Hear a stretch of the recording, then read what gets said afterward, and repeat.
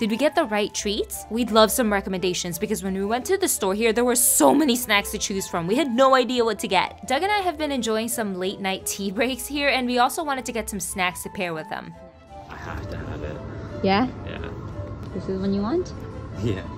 I just want to buy all of them. I tend to go for chocolatey treats that have been paired with a biscuit or a pastry. Oh, what's this? This one is a plain one, but this one has the chocolate. This one is more of like an oatmeal cookie. This one's more of like a sweet wheat cracker.